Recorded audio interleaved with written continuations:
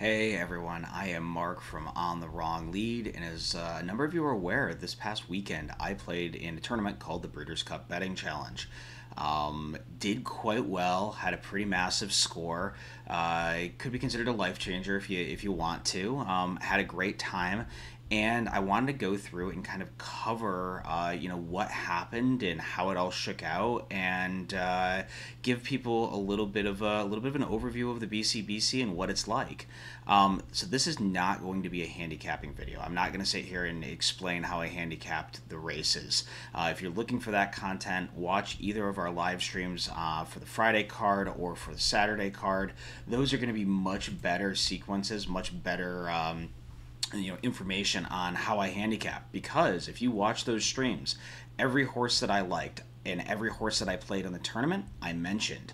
If you heard me say something along the lines of "I like this horse" or "I love this horse in this spot," um, those were those were my press plays. Uh, I didn't didn't uh, didn't hide anything. I, I was pretty transparent with what I liked and why I liked them. Um, what this is going to really detail is the actual physical plays I put on for the Breeders' Cup um, you know what you know how I spent that money um, and really kind of going through some of the mentality. What was going on in my head as I was making some pretty you know uh, unequivocally stupid plays absolutely monster slams um, going on in this tournament. So uh, I later on will detail all of those um, you know, so that you can have an understanding of every single play I played, every single thing I was thinking as I played that play. Uh, it's something a bunch of people had asked about, so I said, okay, sure, I'll throw it together. So if you're if you're unfamiliar with the Breeders' Cup betting challenge and what it is, it's the largest, richest, and most prestigious live money tournament in the world.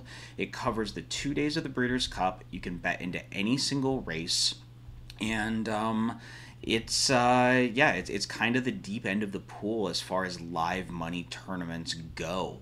Uh, and I should mention the only race you cannot bet on is the last race on Saturday, which is not a Breeders' Cup race. It's just a regular allowance race. Uh, is at least as the card was played um, at this past Breeders' Cup. And just so everybody's aware, I did fly out to Santa Anita. I was on track for the event. You don't have to be on track. You can play it from home or from other satellite locations if you want to. Uh, it's a $10,000 buy-in tournament. Yeah, that means that if you want to buy an entry, you cut a check for $10,000. Of that $10,000, 2500 of that is set aside for a prize pool. Prize pool goes to the top 50 or top 20 entrants. Um, and obviously it's it's pyramided in a way that the top person gets most of that prize pool, um, and the person the you know in twentieth gets the least amount of the prize pool. So uh, twentieth uh, got a little over eleven thousand dollars, and first place got a little over four hundred and eleven thousand dollars. So pretty big chunk of change. Five hundred and seventy-one total entrants. Um, there are th- three Mando races on Friday and seven on Saturday. Now, that does not mean that uh, you have to play a Mando race. What it means is that on Friday, there were five total Breeders' Cup races.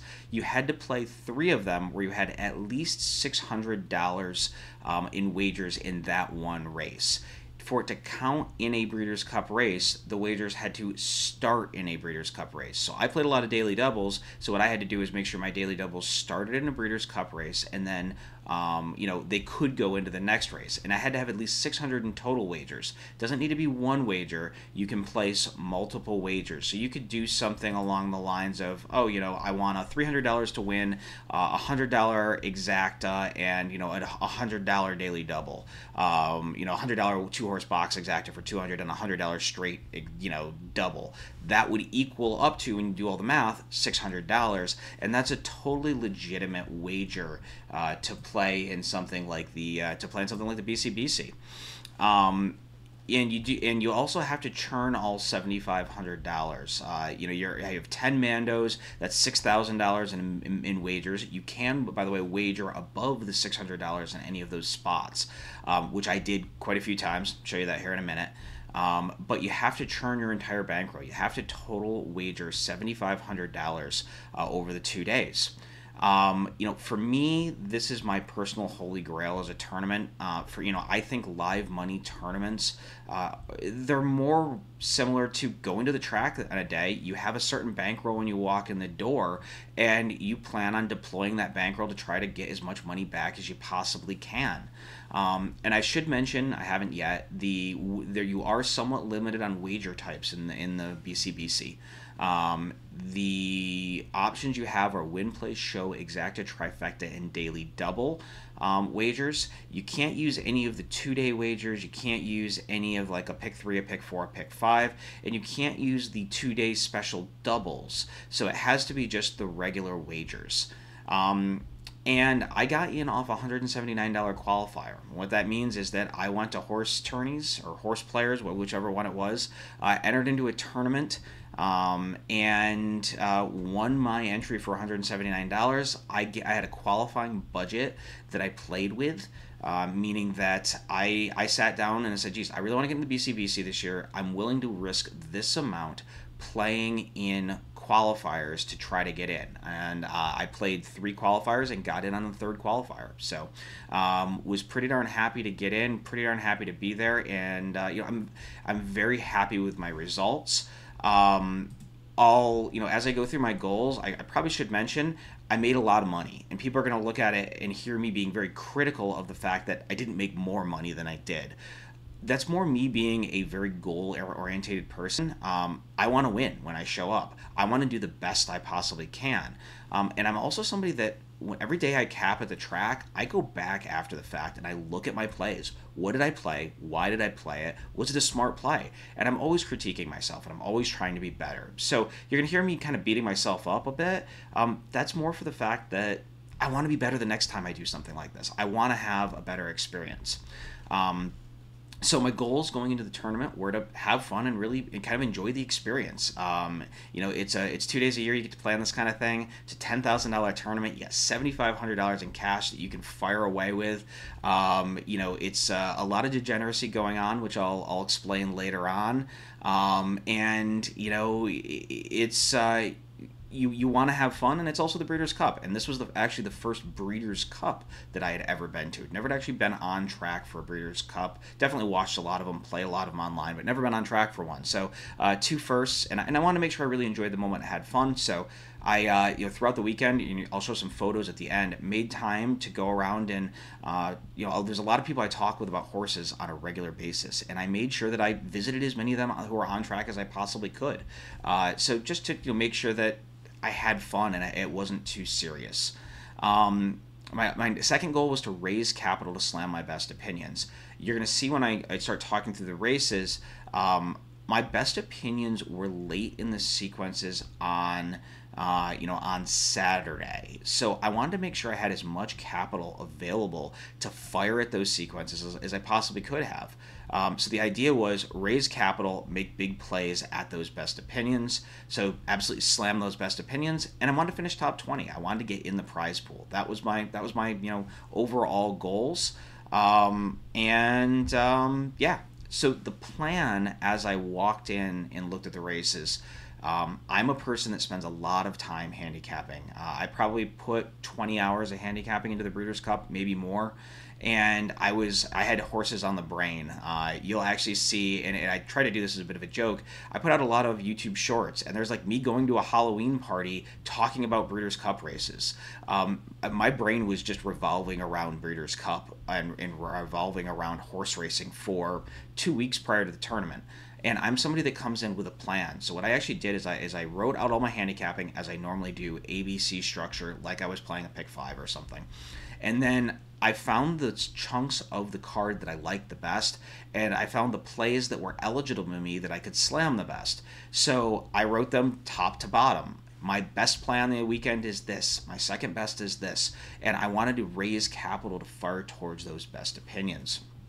Um, my again my best opinions were late on the card saturday so i needed to survive friday and not burn too much money i didn't have a lot of good opinions at all um, and i'll talk about how i played it versus probably what's the optimal way to play it which is not what i did um, not mad at myself for how i played it but uh, you know always live and learn um, you know, I had my four best plays on Saturday, which I'll show everybody what those were here in a bit, uh, and I just wanted to slam them. Uh, and my plan was whatever capital I had sitting in the bank, 100% of it was going to go through Auguste Rodin and the turf. Um, and I'll explain why I didn't end up doing that, why I am kind of kicking myself for not ending up doing that. Um, but uh, but I'll, I'll, give you the details as we move along. Um, and my best plays were the dirt mile to the Filly Mare turf, the distaff to the turf, the turf sprint to the sprint. Those were all three doubles. Those were I felt where I felt the best three sort of doubles that I have, and, I, and I'm, I'm a player that thinks that way. Um, you know, I think in a kind of a vertical mindset. So I I used a lot of doubles. Most of my big plays were actually all of my big plays were doubles. Um, and I and I and also I think when you make a plan on races, you have to have an understanding where you don't have good opinions. So I did not have solid opinions in the Filly Mare Sprint, the Mile, or the Classic. So my idea was um, because I have those seven mandatories and I didn't want to miss a mandatory. I played horizontally in those races, which is not something I'm super comfortable with. So uh, we'll talk about that a little bit as we get going on here. But I did play horizontally in a couple of those spots. Um, they were definitely make the mins, but a little bit of poke and pray types type of plays. Um, you know, a lot of geez, I'll play wrap some horizontals, make some exactas where I have some prices, or some trifectas where I have some prices, and hopefully I hit one of those and I can use that capital someplace else. Um, and then I also had the mindset I loved the exacta in the sprint. Um, I thought that it was a two horse race, and I thought that also just due to a pace complexion standpoint, and especially being a sprint, um, it, it, would go, you know, the two top horses would go one and two. I didn't see a, a, way that that didn't happen. So my thought was if I'm in a spot where I either need to hold my position or I'm trying to make a last minute big move, I could slam the exacta in that race and that would, uh, that would accomplish that for me. So on Friday, here are my plays. Give me one second here. Um, I played four plays. So you're go you're, and this is how the format is going to be for all of my plays. You're going to see the race number. So the, if you read the top line, it's race two. I played a 5 over 2, 4, 12, 13 daily double for a $100 base wager, meaning that that cost me $400 to play. Um, and you're all gonna see, you're gonna see them all in the base wager amount. That's how I how I structured it instead of the total cost of the play. Then, then you're going to see a little vertical line, and the next thing is negative 400. So I completely whiffed that wager, and my bankroll at the end of that wagering sequence, at the end of that daily double, was down to $7,100. I got nothing back. I completely whiffed. Now, race two was an interesting spot. Um, it was the only, well, actually, technically, race three was the race I was interested in. Race two, uh, there was a maiden who had had a big performance on debut. I thought the horse was a lock, so I fired a double. Um, I whiffed the first leg. Um, but my initial plan was race three. I went through and capped all the races, and race three on the weekend was the one where I thought the highest level of variance was. Uh, variance is just that when you look at a race and you think it's flat, you feel like, gee, the, the difference between the favorite and maybe the horse I think it's fifth best is really, really small. And if you do those kind, if you find those kind of races and target them, those are the races that produce big payouts because the difference between the best horse and the worst horse is very slim. And I like to find those kind of races, and I thought that um, you know, daily doubling into that second leg. Uh, the 12 was the favorite, but the in race three, I thought the 12 was going to be like 7 to 2 or 4 to 1 kind of range as the favorite. Um, and the 2, 4, and the 13 were all horses that were 8 or 10 to 1. Um, I was trying to create some value there, trying to do a little bit of capital raise. I thought it was the best spot to do that on Friday, so I took a shot. I completely whiffed both legs. I whiffed the, whiffed the first leg, didn't the. Uh, the last out maiden breaker did not come back and win again. And in the second leg, I actually also screwed up. Um, I was right about it being a high variance race. Uh, Jose Ortiz won on a horse that went off at like 20 to 1 or something, a big price. Um, but uh, I did not um, I did not end up you know collecting there. I, I, I, didn't have that horse right. So um, you're gonna see my, my, my wagering total got into 7100, and then you're gonna see three other a daily double, an exacta box, and another daily double um, in races five, seven, and nine.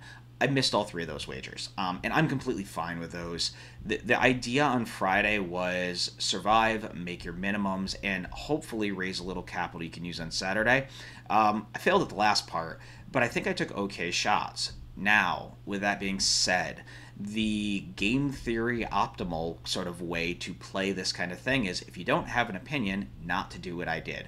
What you would, what I should have done in a perfect world, should have done would be to play three $600 show bets on maybe the first or second choice in those races. The idea is you're going to get some return that's going to give you a little more capital, which moves you up the leaderboard and you're going to have a better chance of uh, you know being able to make those bigger plays on the next day doing that if you really have no opinions. Now i took a bit of a hybrid approach and my approach was i, I wasn't really reaching out. You're going to see i did use some somebody like in race five there. Um, I, I you know doubled in or uh, i doubled into tamara right? Um, i played those kind of things where um, where i was okay sort of taking the logical. Um, I do kick myself a little for the Tamara race. I did like the Belmont horse that won. That was the only other horse in the race I liked. And I'm getting like two to five on Tamara, or I'm getting eight to one on a Belmont horse. And of course, I fire the the double into uh, into Tamara because I'm a chalk hitting weasel. Um, but uh, you know, I uh, you know I think I took okay stabs here.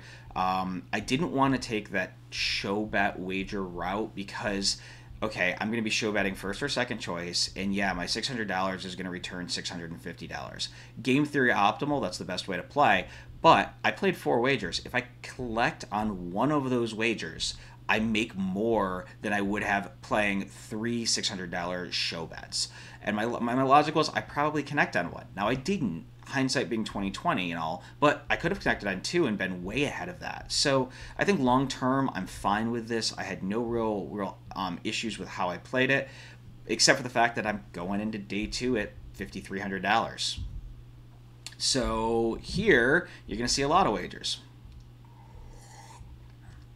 So on Saturday, um, came in with 5,300. I like the race two daily double, that 611 over 3.5 daily double. Um, ended up firing it for 250 so $1000 uh, and i also should mention you're going to see in brackets in a large capital m those are any wager that qualifies as a mandatory wager. I forgot to mention that on the free previous page. Um, just so you understand where the mandos fell and you're going to see like in race 9 there's two mando wagers. I actually made two wagers that would have qualified as mandatories. Um, but just just for transparency's sake. So uh, race two, you're going to see I played a big daily double, completely whiffed on that, down to $4,300. Um, now you're getting a little panicky because you're playing this with this mindset of, okay, I have seven mandatories I need to make. Uh, seven mandatories uh, was what forty two hundred dollars. I would only have if I whiffed all of them, I'd have hundred dollars in the bank. Um, now the thing with the mandatories is the penalty I think for missing one mandatory is ten thousand dollars. I think you lose ten grand. So you want to make them, but obviously, if you're going to just make your mandatories and end up with nothing at the end, there's no point. So, what most people do is they have spots where they're going to take big stabs. I probably had a mindset of making my mandatories that was a little too strong. I was a little too concerned about making the mandatories um, and not strong enough on making the most money. So, anyways, uh, race two, I thought that was a good value proposition spot. It did not turn out to be. Um, I, I, liked what the doubles were paying in that spot, and that was one of the. Uh, when I again when I wrote these down, I wrote my best plays down, but I also wrote ones where I thought I would get a nice value line. That the, the profit, uh, you know, point the profitability would be very very strong.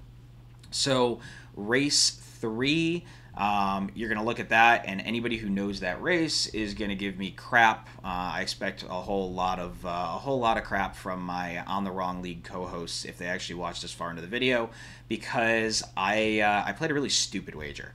Um, I played a daily double, and I like Cody's Wish in that spot. He was a hard horse to beat, but as anybody that knows me knows that I have a soft spot for Charge It. I've had a soft spot for Charge It for a really long time, and occasionally Charge It shows up, fires a huge performance, and wins a big race. So, what I should have done in this spot is I should have played something like maybe a $500 daily double that was 3 over 6 9 and that would have given me a large amount of money through cody's wish into the doubles in the next leg. And then what i should have done is played a much smaller charge it over the 6 and 9 in the next leg daily double. So how it probably should have been is like a $500 daily double um, that was 3 over 6 9 and a second daily double it's maybe 50 or $100 5 over 6 9 Um, it wasn't. It was a pretty poor structure. Now I did make nine hundred and fifteen dollars on the wager, um, and there was you know, um, and what you're going to see if you're, you're, waiting there and going, wait, the math doesn't make sense. So I, I made $915. That's what the wager returned as a $150 daily double. Um, but the wager cost me $600 to make. So the net is 315 in profit, which is why the, the total at the end goes 43 to 46.15.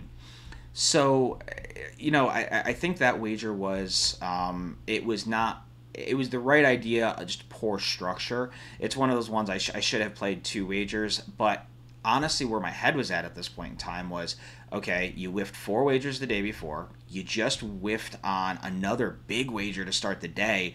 You just need to score, you need to cash you need to get you know kind of turn the tide and get some money coming into you know coming in so i played something that was a very conservative way of approaching a daily double instead of an aggressive way and you still have to stay aggressive so um, it should have been two daily doubles if i did like charge it a bit and i did honestly like him a bit in that spot um, so yeah i made 915 cool so it goes into the race five. Race five was a race that's the Goodnight Olive race, um, the filly and mare sprint, and I didn't like that race. I thought Goodnight Olive could win, but I knew she was going to be three to five, and I thought there was a bunch of other prices in there that were really interesting. And I also thought there was chance, you know, we know no Goodnight Olive didn't like to run inside horses, um, and she's a horse that's very talented, but she might not have that turn button, you know, blow through a hole kind of move.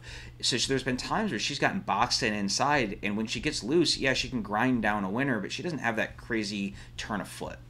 Um, also, she is a very fast horse and very talented. I'm not trying to make an argument that way. Um, but what I did is I talked with Chase Sessoms, the, the Wolf of Oaklawn, and I said, hey, Chase, I want a trifecta here. Um, and my logic was if I could get Goodnight Olive out of first place, um, and I had two prices that were beating her, and then I could wheel her maybe in second and third, but the op- optimal way is to get her completely out of there. But I had enough coverage where maybe I could get rid of her out, off from it, you know, off the top three completely. Um, yes, I'm wagering. It's a $25 trifecta. It cost me $600 to play it there is a lot of risk there, but my thought was I could see this trifecta coming back and paying 300 if, if Goodnight Olive misses the try this could pay three or four hundred dollars and i didn't think that was a crazy outsider chance i thought there was actually a fairly decent chance of that happening so how I ended up structuring it was Goodnight Olive in second third. Um, you know, she could be in second third along with a bunch of other horses, and uh, the five ended up being a horse that I thought, if the race completely came apart, was the most interesting player. Now, none of the other favorites went with her. Um, none of the other favorites honestly showed up at all. Uh, and it was a pretty um, yeah and, so my, my wager ended up being a complete whiff with goodnight olive winning. Had no problems with goodnight olive winning. She's a really great horse. She's really cool. Um, but it was again $600 down. And i should mention as well there is a board that you're watching. Um, you know, there are two rooms where they hold the BCBC, and you, there's also an online website you can go to where they're showing an updated leaderboard. the day one leaderboard was absurd. There was a gentleman who was in both first and second place. He you can buy two entries. He did buy two entries, and he had one of his entries at sixty-seven thousand and another one at like forty-three thousand at the end of day one. And then the gap to third place was just massive. So I'm already in this mindset of after day one, I had the mindset of, geez, I can't win. This guy's just going to run away with this. He's gone. There, there's there's no way I'm going to catch him. Um, and that definitely did play into how I played things today because I wasn't playing with the mindset of, oh, I can go catch that guy. I was playing with the mindset of, well, get home the biggest score you can. Take home as much money as you can. Um, the win is out of consideration, and, and, that's a really bad mindset, especially in something like this with the Breeders' Cup, where you know you can get those prices and you can make those big moves forward. Um, race seven is where I started finally getting things done. Now, you saw on the previous page, I said I thought Auguste Rodin was a single, and I did. Um, and this was my play of I got rid of Clairiere and the distaff. I didn't like her there at all, and I was going to get I was going to fire into Auguste Rodin, who was the five horse in race um, eight. Um, so I played a thousand dollar daily double from the four eight. I caught the favorite, which was fine. Um, actually, my four and my eight I think ran first and second, which was I, I, probably could have played an exacta there as well. But you know, I, again, that's not how I really think. I tend to think more doubles in this type of sequence.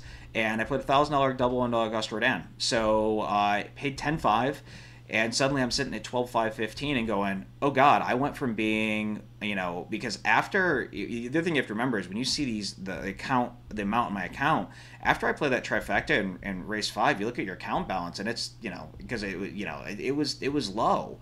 And you start getting panicky and you're worried about playing wagers and you want to save plays for later on. You don't want to be in a spot where, geez, I I'm going to sit here because I, I, was going to watch all the races anyways. But geez, I have five races to play. I don't have any money to play them. That's left in my account balance, and then find out that I was super right in the last five races, and I would have run that money back up. So. You're, you're, you're really worried about, or I was really worried about money in reserve. Money still sitting in my bank account that was dry powder that I could apply someplace else. Um, but yeah, so that one that double paid 10.5, um, ran me up to 12.515, um, and all of a sudden you're back alive again. And uh, and then I also played in race eight, and this is probably where I made the biggest mistake that I can actually. I mean, some of these I'm pointing out things that I'm saying, geez, I wish I'd played this a little better. I wish I'd been a little smarter here. Things like that uh, that daily double in the in the in the um, Caleb in the uh, in race three. Um, but race eight was one where I really did screw up. Um, I played a double from race eight into the uh, into the classic.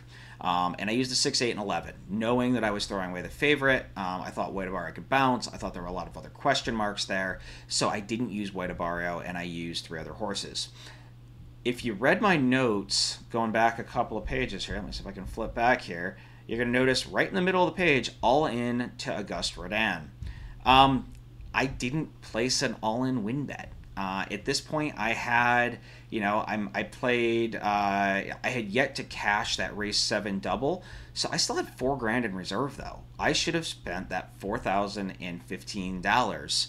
Um, you know, I should have spent that that money that I had sitting in reserve. Actually, I'm uh, I'm, I'm lying here. It would have been 2015 because I would have taken the 4015, made a two thousand dollar wager, so I would have had 2015 dollars sitting in reserve. I should have placed a 2015 dollar bet on Auguste Rodin. That was what I said I was going to do. I just didn't do it. Um, and and that definitely cost me later on because um, that is you know that win bet. Yeah, Horseland went off at two to one, but that's another six grand that I could have taken, rolled forward, and uh, and fired into later races. Um, so yeah, um, and I also mentioned, and this is also sort of another one of those. You can see I made two wagers in race nine. Um, obviously, I was tossing the favorite, um, and I played a six eight ten exacta box. I don't hate either of these wagers. My biggest thing was that I made both of them. I, I mentioned that I didn't like the Classic. I thought it was a really wide open race. A big price winning would not have surprised me. And if that's your mindset, um, you don't want to be deploying a bunch of capital at both both sequences. And I'd written both down as possible wagers, but I didn't need to play them both. Um, the smart move would have been just to play the exacta and probably play it more like a $50 exacta. Now, the problem there with doing that is, um, again, it's going to be hindsight, you know, it's 2020 result orientated thinking. But if that exacta does come in, it probably pays quite a bit because I got White Abarrio completely off from the, the exacta. Um, and then you're mad you didn't play it for bigger. But probably that play should have or could have been smaller um, because that was a race I just didn't like and then we're going to get into my best opinion and i'm happy with how i played this given the capital that i had in reserve the only thing here is um, you know when you get to race 10 um, this is the Nobals into elite power race um, I thought that that Nobals race was a two horse race. I said so in the stream. And I thought the the elite power gunite race was a two horse race. Um, so I really like this play. I think this is probably my best play on the weekend. My only thing I would critique here is the wager amount. I still had, um, you know, after playing a four thousand dollar wager off ninety three sixty five, uh, I still had fifty three sixty five sitting in reserve. I still had five grand back. that could have very easily, even with the capital I had, been a $2,000 daily double. Um, I could have pressed much harder there because I, I think that was you know, Auguste Rodin and that double were my top two as I wrote in order of, uh, of preferred plays. So you know, again, it's rearward biased, it's hindsight's twenty twenty, it's results orientated thinking, it's all the things. Yes, I did cash a forty one thousand two hundred dollar daily double, which to most people is absolutely absurd and stupid, and like didn't realize that you could do things like that. Um, but looking back on it, um, I, I do have to say I wish I had played that at a larger amount and also, if I had you know simply win bet the rest of my balance on Auguste Rodin, which was my best opinion on the weekend, um, I have a lot more capital to deploy there. You know, again, it would have been another six grand. It would have been easy to say, geez, I can still leave that five grand in reserve um, and and play a two thousand dollar daily double. Um, so yeah, I, I kind of kick myself about that one, and, and I guess where I keep mentioning this five thousand dollar in reserve number. Um, where that came from, A, it's something that should have never been in my head, but it was. But where it was coming from was um, I had to last minute book flights and last minute book a hotel. It was fairly expensive to get out there. It cost me about two grand for the weekend. Uh, and my thought was, okay, I played a 179 feeder. If I turn a 179 feeder into three grand in outlay after, and I cover all my expenses, so I get a free Breeders' Cup weekend, a really nice experience, and I take home 3K off a 179 feeder, I'd be really happy. That got in my head somehow. That got to the fact, you know, my, my head went to the fact of if I blow my bankroll, I'm losing money and I got nothing out of anything. Um, and, and, that's just that that mindset should never happen, and it really can't happen in a tournament like this. So I definitely should have been more aggressive in uh, in that spot and with that sort of with that sort of play type. Um, got into race 11, and the problem is you're going to see my account. You're going to be like, wait, you had 46.5 in your account. Well, the problem is the race 10 double doesn't cash out until the end of race 11. So I actually didn't. I was sitting in my, my account, but I did have um, about five grand, another six. So I had four ish grand in my account. Um, and I played a, just a min bet. I played a $300 exacta. It cost $600. That cashed as well for another $2,400 when uh, it went Elite Power over Gunite. What I should have done in that last race is, pro- is again, I could have fired my entire bankroll. Um, and uh, you know, and I would have had a lot more, uh, a lot more money at the end. Um, I could have moved up the leaderboard a lot, and I'll get back to some of my takeaways here. Um, but I, I, think overall, I played Saturday, you know, between uh, a one and a hundred. I probably played it eighty-five ish. Um, I, I did lever up all my big opinions. Um, I did have a very nice day. I did score very well, um, and I finished very well. It just could have been better. Um, so things that I learned: stick to the plan. Um, I think this is the biggest one I'll beat myself up about. I was going to go all in on Auguste Rodin, and I was going to use that hopefully capital when he wins to fire bigger later on some of my best opinions. Because I didn't go all in on Auguste Rodin, I didn't have as much capital late to fire. Um, and I actually did a little bit of a, a, mental exercise talking with Brian Duransky, who's a good friend, and I'm, I'm looking down at my notes here. Um, if I had played all on Auguste Rodin and then doubled the daily double late size and then played like a 2500, and I'll show you what I did play here. So if the um, if I went on race eight. I, I played um, a you know honestly so in race eight instead of playing that two hundred and fifty dollar oh of course I don't note it uh, that was a five over six eight eleven double instead of playing that double if I had just taken that seven hundred and fifty dollars added it to what I had in my bank account and pay, played it would have been about a three thousand dollar win bet um, which is going to return I don't know nine ish that thousand dollars, a little over nine, nine, ten thousand dollars, something like that. Um, I would have then had that money to fire at later sequences. So if I had done that, then taken and doubled the daily double size in um, in race 10 and then played probably like a $2500 exacta instead of a $300 exacta late um, I still would have had that five thousand dollars in reserve number that I talked about at the end. So not what not betting everything in the last race, I still would have had a little capital um, pad. But instead of finishing where I did, I would have finished a lot ahead. And I'll give you those numbers when I get to the next page when I do the summation here. Um, so I didn't quite stick to my plan. I was a little frustrated about that. Um, I, I, need to be a little more mentally prepared to lose everything, being okay, being all in. Um, I was one of our really good friends. He's a guy I hang out with a bunch in Saratoga during the summer, and also somebody I talk a lot on uh, Discord with.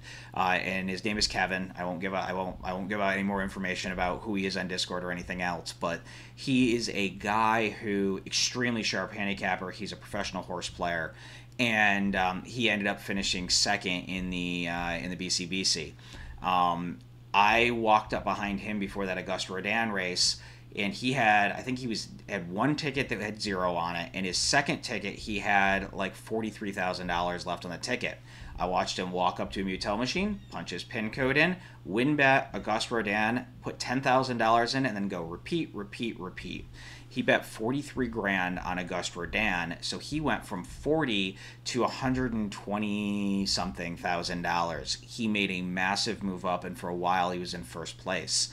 Um, that type of play is something you have to be mentally prepared to make because if Auguste Rodin doesn't win, he buys in for twenty thousand dollars and he paid out of pocket twenty grand, and you go away with nothing, and you have to be okay with that. And it's just a, it's a mental place you have to get to, um, and I'm hoping a little experience helps me be a little better about that.